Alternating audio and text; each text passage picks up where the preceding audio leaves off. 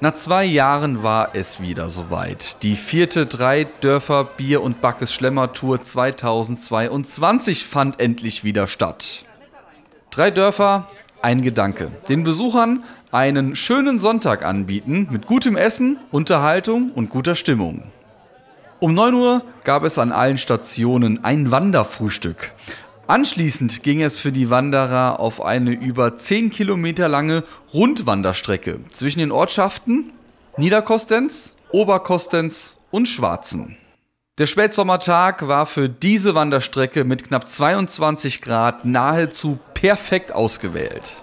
Selbstverständlich gab es wieder leckeres, selbstgemachtes Backesbrot, Schales mit Apfelmus, selbstgemachte Pizza Kaffee, Kuchen und vieles mehr.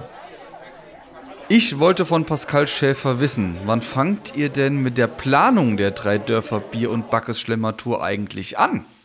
Ähm, das fängt schon relativ früh an. Also Anfang des Jahres sind wir dann schon dran mit der, mit der Entscheidung, wir wollen immer so um die 10 Kilometer.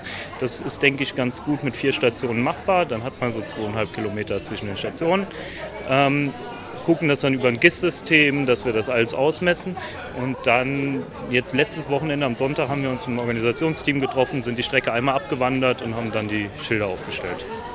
Wir haben jetzt schon von einigen gehört, hier gibt es nur Kirner. Warum nur Kirner? Ähm, wir haben einfach, wir wollen die Regionalität hervorheben. Wir haben mit der, mit der Kirner Brauerei, die unterstützt uns auch ein bisschen hierbei. Und ähm, die breite Palette, die die Kirner mittlerweile anbietet, ist ja doch äh, nicht zu unterschätzen. Wir haben jetzt heute 14, 14 verschiedene Sorten Bier. Das ist, denke ich, schon ganz gut für, für so ein Fest. Man konnte die Strecke aber nicht nur B wandern, sondern auch B fahren und zwar mit dem Fahrrad, wie dieser Mann hier. Sie fahren die Tour mit dem Fahrrad, warum? Richtig, weil ich äh, lungekrank bin und das nicht mehr zu Fuß gehen kann. Aber mit dem Fahrrad, das klappt wunderbar. Jetzt fahren wir nochmal Kostens, Oberkostens dann Niederkostens und dann fahren wir heim, weil Engelchen noch Geburtstag hat. Und für die Wanderer, die unterwegs Durst bekommen haben, die wurden natürlich nicht auf der Strecke zurückgelassen. Nein, die wurden versorgt mit einem tollen Service. Mit einem Vor-Ort-Service kann man sagen. Bulldog plus Kühlschrank ist gleich Versorgung. Und damit auch die letzten Schleckermolchen noch etwas Leckeres abbekamen, gab es in Oberkostenz am Sportplatz noch einen leckeren Hahn, der ein wirklich tolles Leben in Kappel hatte.